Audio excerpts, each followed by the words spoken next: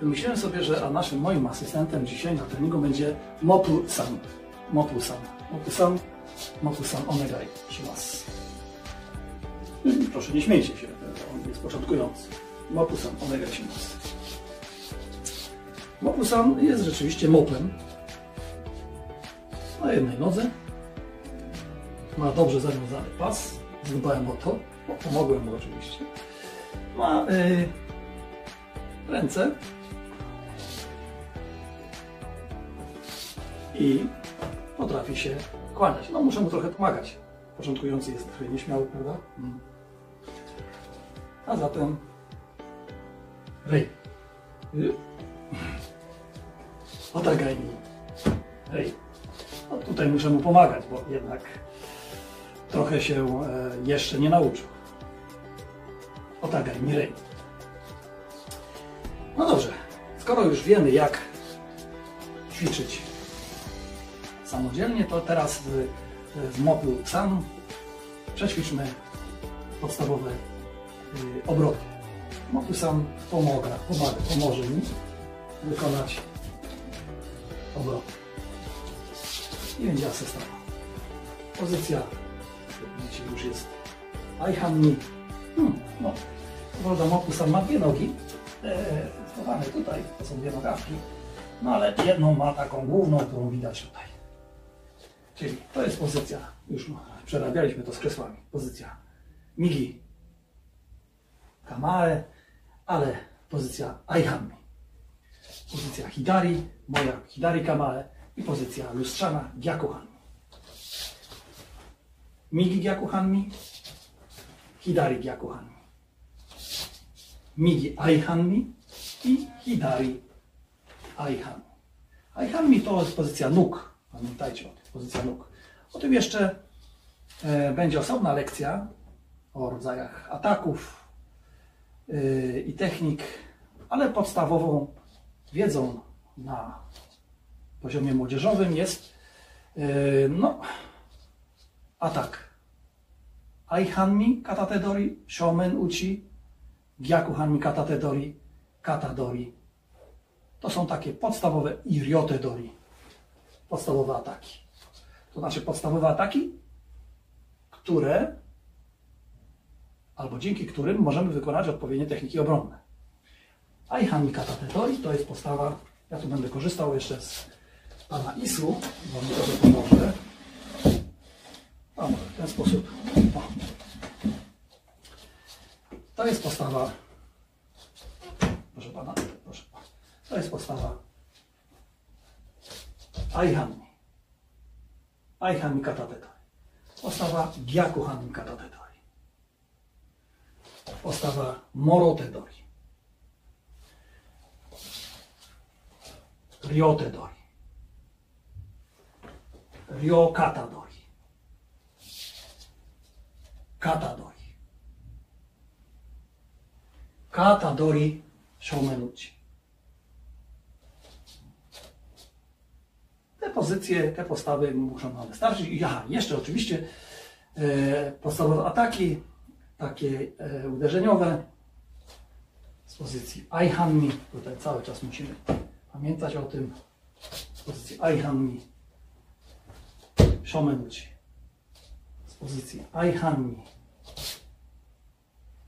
Shomenuchi i kończymy w Aihanmi.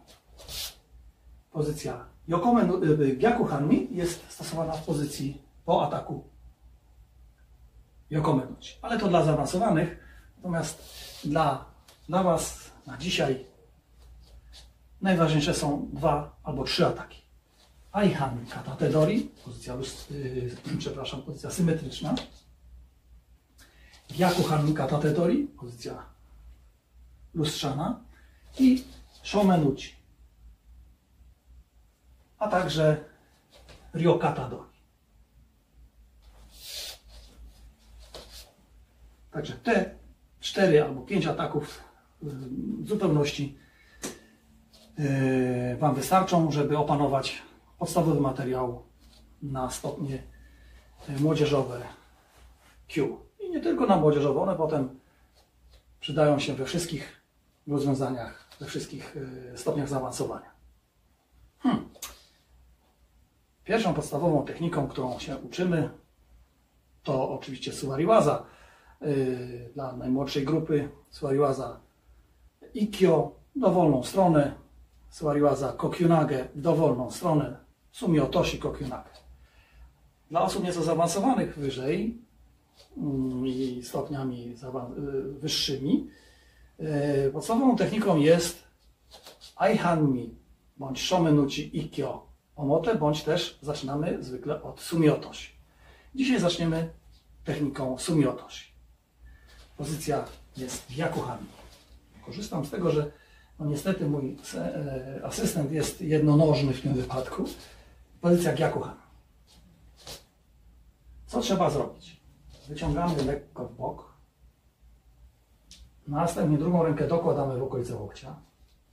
Teraz noga zakroczna, noga z tyłu, musi wejść pod rękę naciągniętą, pod rękę naszego asystenta. Trzeba poprawić pozycję i go, po, go powoli położyć na podłodze. I to jest prawidłowo wykonane wejście do sumi otoshi. Jeszcze raz pokażę, troszeczkę przesuniemy się. Dlatego korzystam z asysty, no bo wiadomo, żeby było bezpiecznie i żeby nie uszkodzić innych sprzętów e, w mieszkaniu. Jeszcze raz. Naszym Keiko dzisiaj bierze udział Mopusan w asyście z Isusan. Isu krzesło, mop, mop. Pozycja. No, tutaj w tym wypadku on musi mnie złapać, więc tutaj e, bo to on atakuje, nie ja.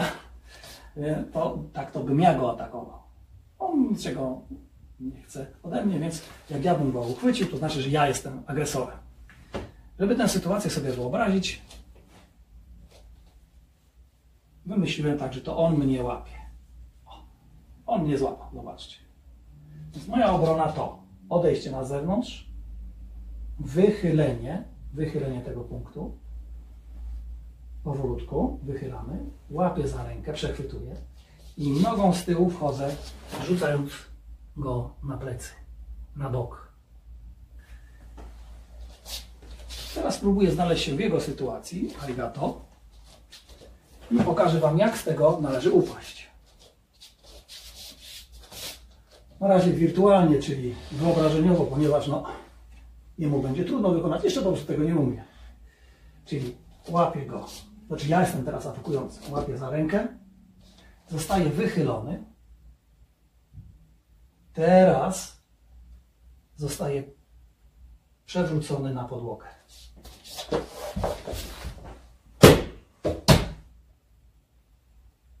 I to jest całe sumie otosi nogi. W ten sposób bądź w ten sposób ułożone, w zależności od ilości miejsca. Zwróćcie uwagę, to już przerabialiśmy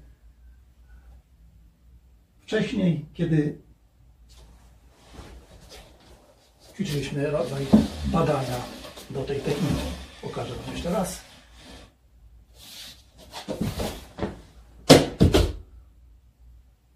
To jest ta sama, ta sama sytuacja.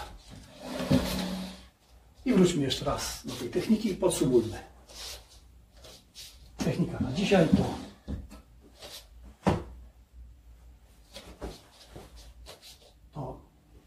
katatedori gyaku hanmi sumiotoshi. Mopu sam atakuje. Złapał mnie za rękę. Zejście na zewnątrz. Wejście nogą i rzut na plec. Popatrzcie, jak kończę ten rzut, gdzie mam głowę i jak mam ustawione biodra. Cały czas kontroluję połknięty kij. To jest bardzo źle, kiedy nogi się odrywają i kiedy wykonuję to w takim pochyleniu.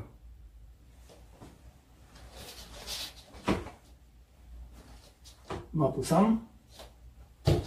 Atakuje, chwyt, wychylenie i rzut. Pamiętajcie, że rekwizyty nasze, wasze, domowe, trzeba traktować z szacunkiem i zawsze sprawdzać, czy można nimi bezpiecznie się posługiwać. Myślę, że dzisiejszą lekcję Sumi Otoshi możemy uznać za zakończoną. Arigato. Arigato gozaimashita. Arigato gozaimashita i do zobaczenia w następnym odcinku.